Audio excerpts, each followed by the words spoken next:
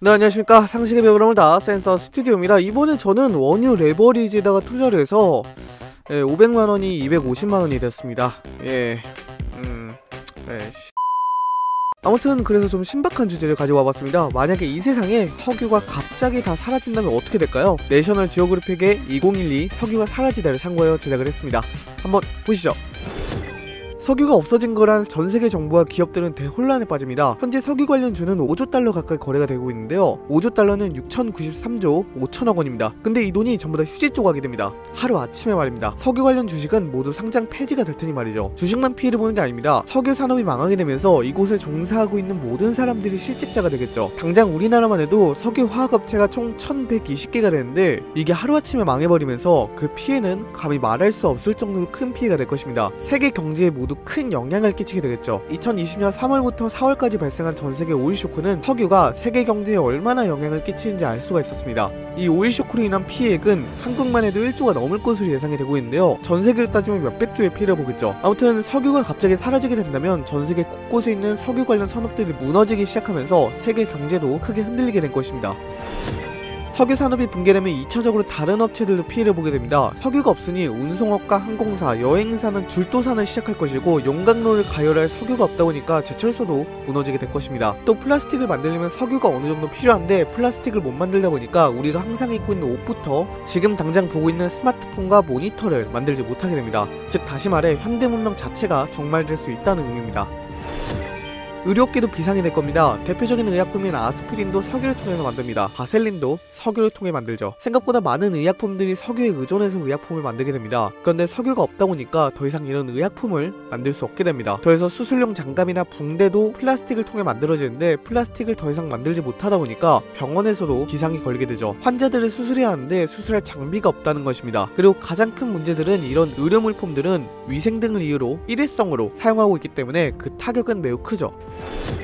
물가도 치솟게 될 것입니다. 운송업, 항공업, 해운업이 모두 석유에 의존하게 되는데 이것들이 모두 망하게 되었으니 말이죠. 운송업의 종말은 물품의 유통이 원활하게 이루어지지 않는다를 의미합니다. 그렇다 보니까 세계 이곳저곳에서는 식료품과 생필품에 대한 고갈 현상이 발생되겠죠. 그리고 사람이 생필품과 음식을 구하지 못해 죽는 현상도 발생될 것입니다.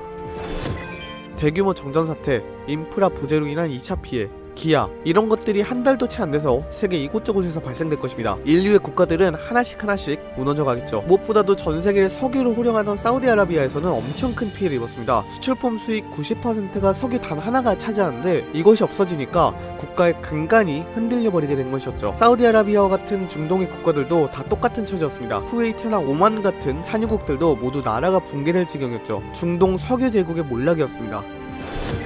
특히나 농업 쪽에서도 큰 문제가 발생되었습니다. 현재 화학비료는 농업의 필수품이랄 정도로 많이 사용되고 있습니다. 이 화학비료도 석유를 통해 만들어지게 됩니다. 지구상에 존재하는 자연적인 비료량은 인류가 19억 정도만 유지될 수 있는 정도인데 화학비료가 없어지니까 농산물이 자라지를 못하게 됩니다. 이는 그대로 식량난을 만들게 되죠. 많은 사람들이 식량난을 통해 아사하게 될 것입니다. 정말 끔찍하겠죠.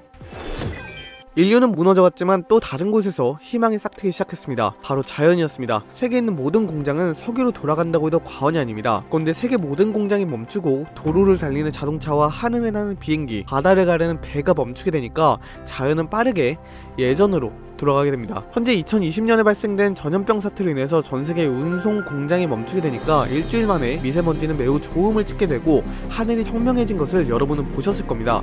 이와 똑같이 석유가 완전히 사라지게 되어 자연은 빠르게 회복을 하게 되죠.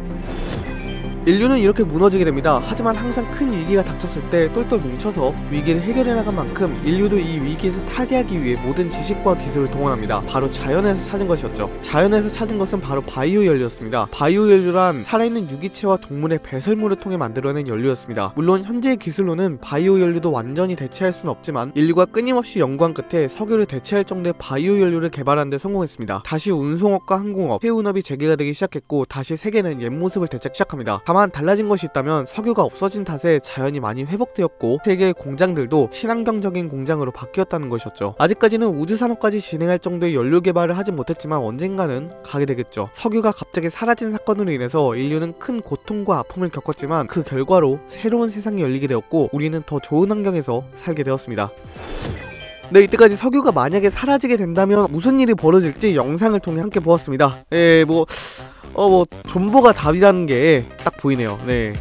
밝은 미래네요. 네네. 이 영상은 내셔널 지오그래픽 채널의 2012 석유가 사라지다를 원작으로 제작이 되었습니다. 이 점은 참고해 주시기 바랍니다. 이상 영상 마치도록 하겠습니다. 빠이염 이상 상식이 비그럼을 달 센서 스튜디오였고요. 주제를 신청하시려면 댓글로 센서 스튜디오의 더 많은 영상을 시청하시려면 구독과 좋아요, 알람 설정을 해주시면 감사하겠습니다. 감사합니다.